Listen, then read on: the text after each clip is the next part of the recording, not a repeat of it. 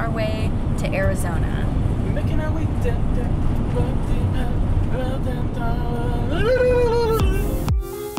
Hey guys, and welcome back. Today we are hanging out in one of our all time favorite states, Arizona. Come with us as we check out the state's most iconic route, hike some of the red rocks in search of vortexes, and spot some wildlife in North America's most visited national park. Good morning from Winslow, We're here on Route 66, and we're gonna find somewhere to eat and enjoy the classic Route 66. Because why not?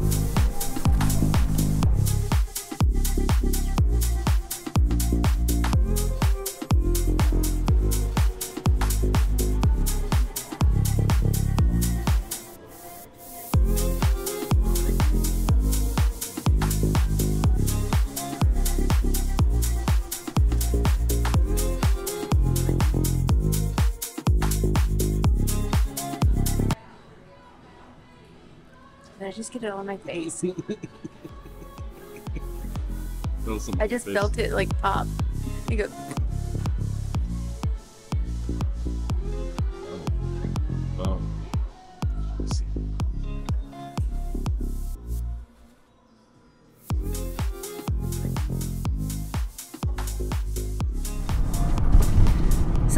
Story of Route 66 starts actually in Tulsa, Oklahoma, from Cyrus Avery, who was a realtor and started acquiring oil leases across the country.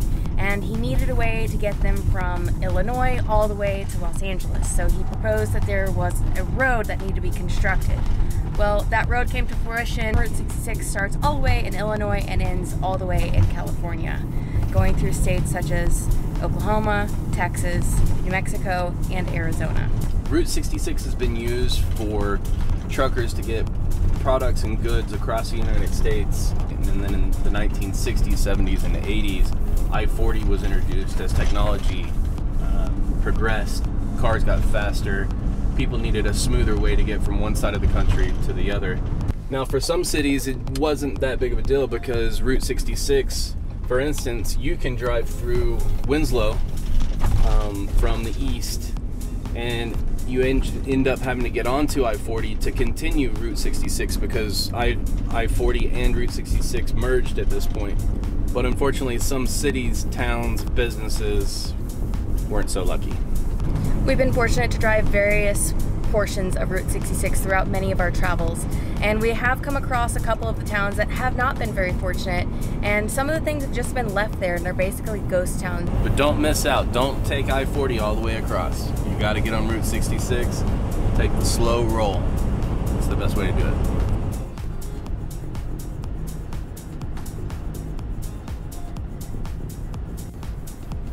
We're on Route 89A, this takes us down the windy back way from Flagstaff down to Sedona. We're very familiar with this drive. Um, it's beautiful and without snow or anything else, but uh, I'm just slightly hesitant. Again, we don't have chains on our van and it's two-wheel drive. Plenty of cars running around, snow plows doing their thing, but it's pretty windy and vertical. We'll see how this goes. And it's snowing again as we get pelted. I'm really hoping that we get to see Snowdona. It's been one of those things I've wanted to have happen. We have experienced Sedona in multiple seasons, and Snowdona is one that I'm really hoping we get to see today.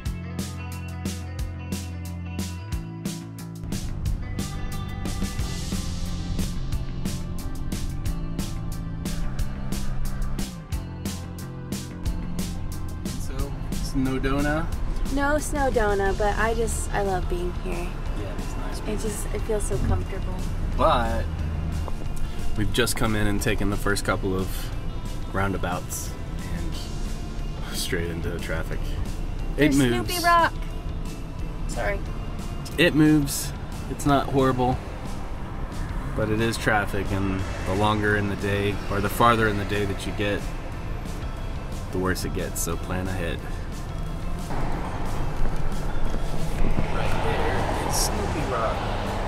Snoopy Rock.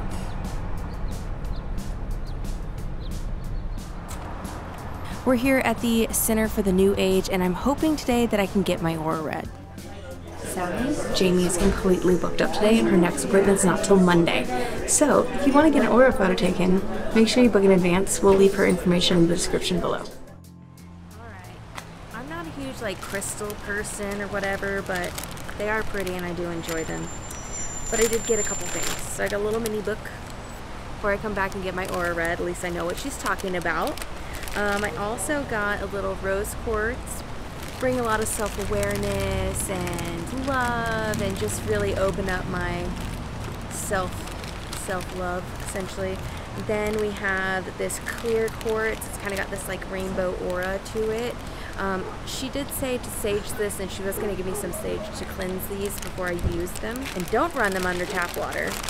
But yeah uh, didn't give me the sage that's fine. Then I got my good friend Laura a really cute little evil eye. So, if you're not familiar with evil eyes, you are not supposed to purchase these for yourself. They're supposed to be given as gifts. Otherwise, it cancels out the, the good positive vibes it's supposed to bring for you. So I'm gifting it to my friend Laura because it's her one year anniversary for a restaurant. So mm. I felt like it was a good gift. If you decide to come to Sedona and you are looking for the vortexes, this is a really great place to look for them or ask about them because they will give you a map of where all the vortexes are in town. And there's an actual vortex here in this building, which is why they built this specific business here. So uh, they've had it tested. They know for sure that there is a vortex on this property underneath the building. It has both masculine and feminine properties. If you are into the vortexes, come check this place out.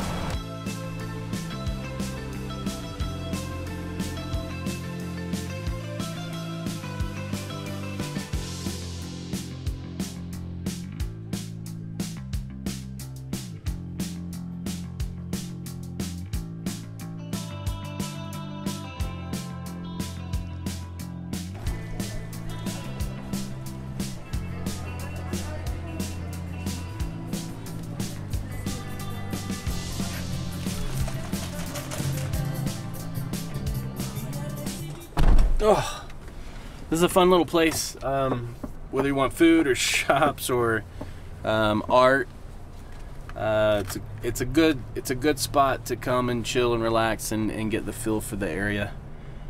Um, what else was I gonna say? Thank you. It's very sweet. Parking is a pain in the butt here, especially on the weekends and during peak season. So be aware of that. There's plenty of restaurants here in this little spot, but I have one in, in mind that I'm interested in seeing if they're open right now. So we're heading out. It's one of my favorite here in town.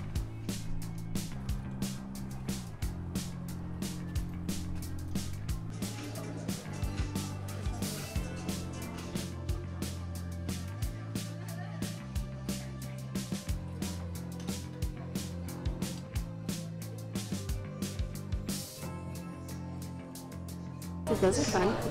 Like fresh made little tortilla chips.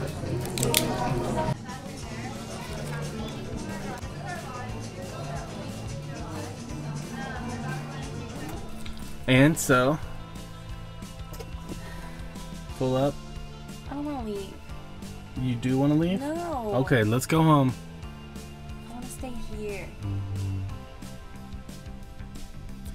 Uh, the restaurant, how did they do? It was fine as the kids would say, that restaurant slaps. that was very tasty. They have a lot of really great things. Um, opted out of dessert, although the tres leches is really delicious, and they have a very unique flan here as well. So flan. Yeah. Flan. All right, let's go to On your to the next. Your next little place, Nicole's been eyeing a, a certain ladder for I think like five years. Since the very first time we came to Sedona, I saw this ladder. It's the backstory of the ladder. So I want to say it was like 2015 or 16. We came here for the very first time for our anniversary, and we stopped at this cute little place, and they had this adorable little wooden ladder and I had to have it because it was like thirty dollars, so cheap. But I was like, no, we're not getting that. So I was like, fine. But next time we come here, I'm getting it. Well, the next time we came, he was like, no, we're not shipping it home for three times the price. So the third time we came here, I was gonna order it again, and they were like, we can ship it. It's gonna be a hundred dollars to ship it, plus the cost of it. So it's like $130. But I was like, no, we're not doing that. So he promised the next time we come here in the van, we can pick one up and bring it home. So today, we're picking one up and we're bringing one home. And I've already called them to make sure that they have ladders. They confirmed they have all four sizes. I'm getting that ladder. Come You gotta come in here. What's happening? You gotta come in here because I gotta show you something. Okay. Come, come, come.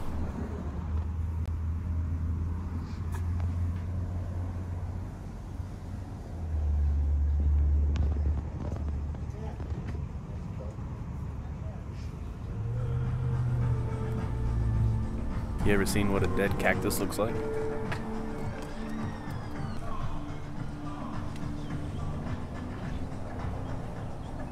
Is that the one you want? This is it. Wait, This is the one. are you sure? Absolutely. You sure you don't want like a little one? No. Like, uh, like, like that one? You mean this one? Yeah. You sure you don't want that one? No, You positive. this is the one. And where are you gonna put that in the van?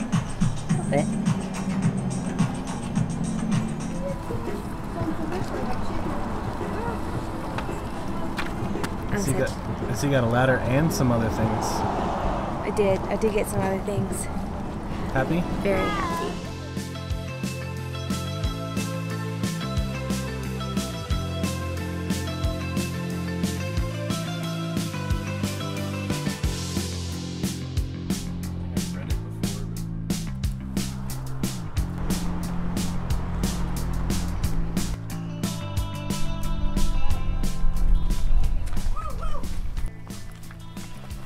Where are we hiking to? We are trying to find the Airport Mesa Vortex. So we came up here a couple years ago with our friends. We did not hike down to find the vortex because it was getting late. If you haven't seen that video, we'll leave that right here.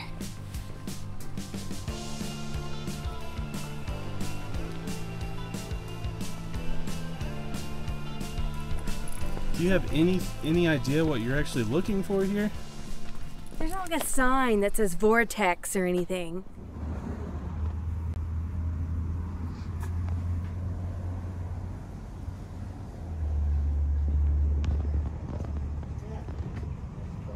It's a feeling. Hmm. Is it like after your first cup of coffee and you have that feeling?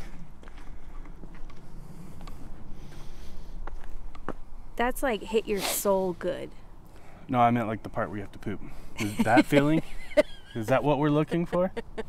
No, no, I don't. I don't know. Each vortex feels differently, and everybody has a different feeling with the vortex. Some people don't even feel it at all. All right, march on there, Vortex Hunter. Look at that tree. It must be a vortex. That's what they say signifies that there is a strong vortex in the area. Is that the trees start to twist really heavily, and that's like the sign. But most of these trees have like some kind of twist to them. Although that one back there was like real twisty.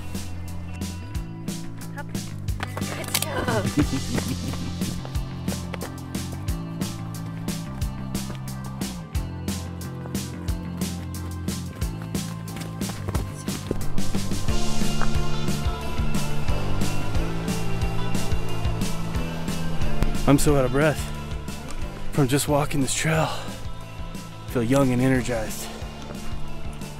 Primarily because I've done nothing for two days except for drive.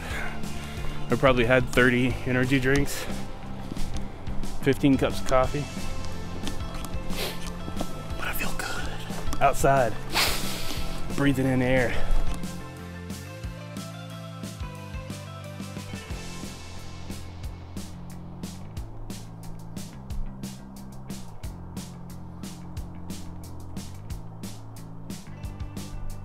Nicole downloaded a map.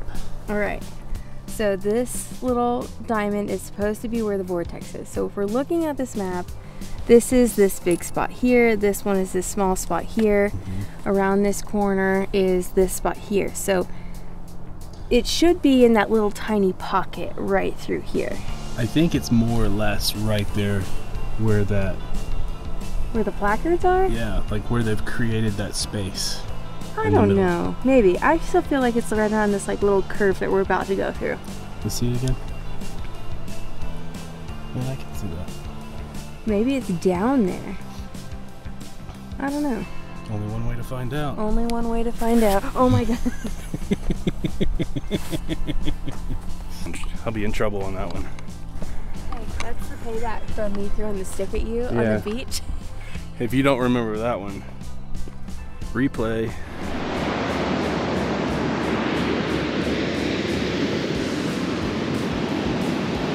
Oh my god, watch out!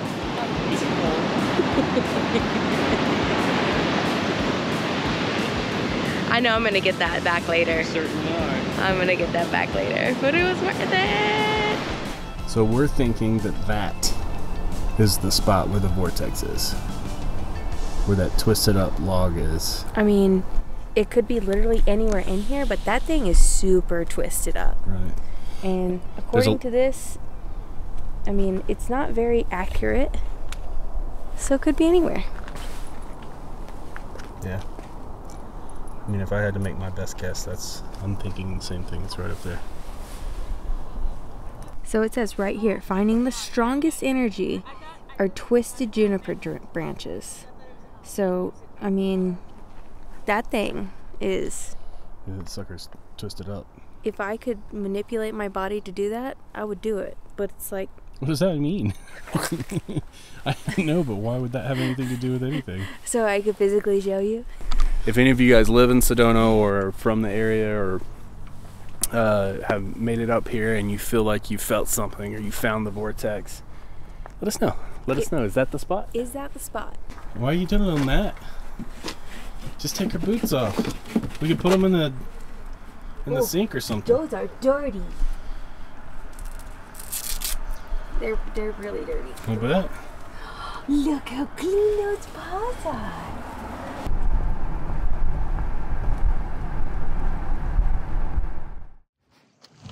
Good morning.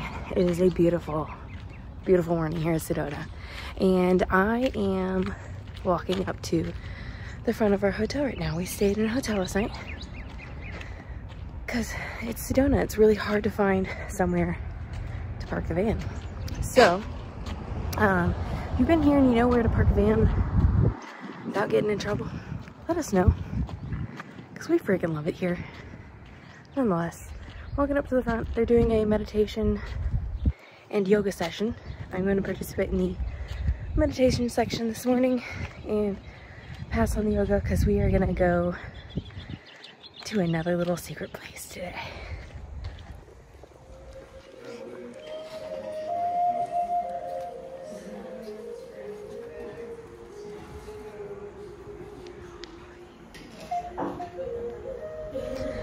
Oh, that was very relaxing. 30 minutes, very quick. Um, she went through a chakra meditation, so going through basically all the chakras. I've never done that before, so that was a really fun experience today. Um, Sedona is very unique in the fact that people call it like very hippy dippy um, or like, I don't know, weird crystal people, but it's just like something about being here and just like allowing yourself to just open up to whatever the day is and whatever is happening. It's really relaxing. Sometimes you just gotta let the hippy dippy things happen. I like to consider myself a free spirit, if you will. I think that's why I like it here so much. Now let's check in on Brad and Daisy and see what they've been up to in the room.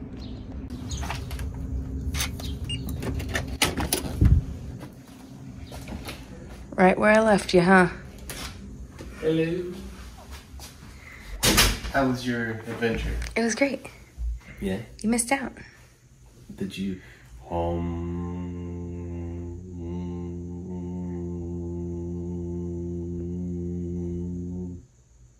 Any of that stuff? Nah, just got my chakras balanced. Which ones? All of them. How many do you have? Seven. You have seven chakras? Seven chakras. Does everybody have seven? Seven chakras. Wow, fancy. Yeah. Was there a little boom thing in there? No, but there is in the, uh, the lobby. There's a guy playing the flute too. It was a jazz flute. Let's go. It's actually great. We we gotta go over there. Can we go up there? Yes, yes, Maybe. yes, yes. Coffee? Good morning. Good morning.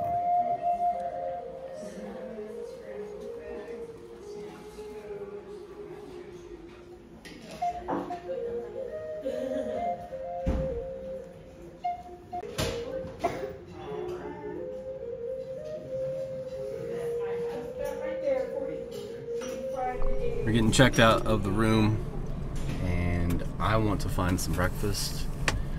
I really enjoy hotel stays like this. A lot of times we are like run and gun. You know, get up early, stay at a truck stop, get up early, and keep driving and get to our destination. This is kind of one of the places that we absolutely love in the whole wide world. And so, if it was up to Nicole, we'd probably skip Vegas and just stay here the whole time. I'm just planning like a few years from now we're moving here. Uh, we've already talked about you know what our future home looks like, what we would do, where exactly we would have that house. The future is very bright in Sedona.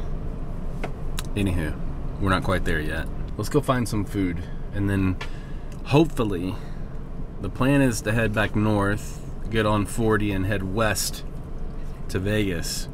But I think we have one thing in between there that we want to do if weather permits.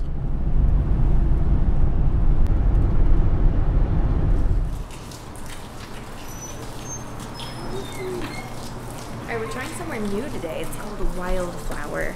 So we're grabbing a couple little things so we can get back on the road. We're gonna eat in the van. I got some mac and cheese and it's really delicious. It's actually pimento cheese mac and cheese. Ooh, that sounds amazing. It is. Do you want a bite? yeah. It's a little baby bite. Feed the camera. Off. Oh. That's good.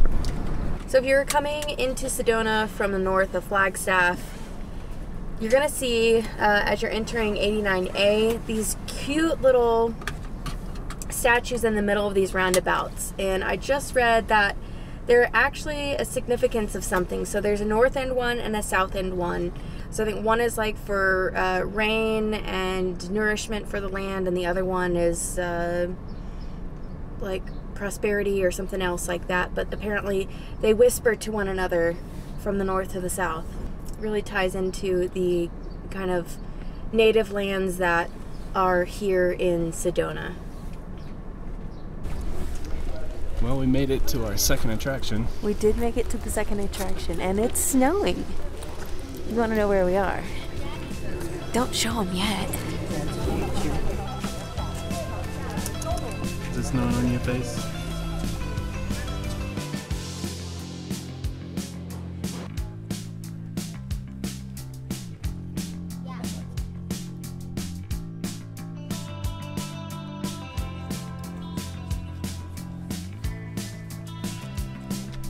Okay, now you can see.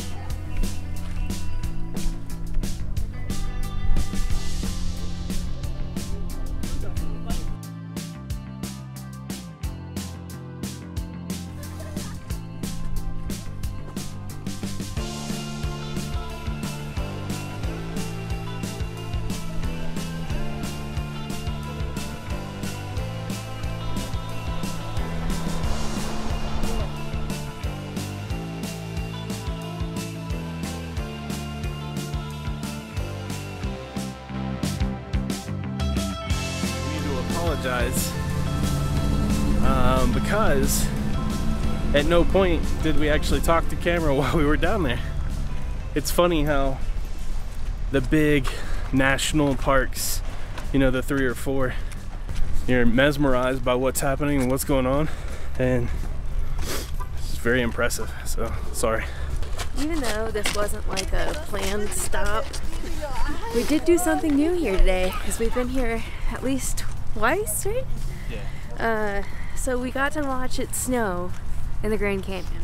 Which is pretty awesome. Pretty freaking awesome. So check that off the list. Seems like every time we come to the Grand Canyon, it's cold. It is. Um, I don't know if it's just an elevation thing, but yeah. And that's going to do it for this video. If you're not subscribed, make sure to do so now and hit that notification bell. You're not going to want to miss out on next week's video drops. That's right, multiple.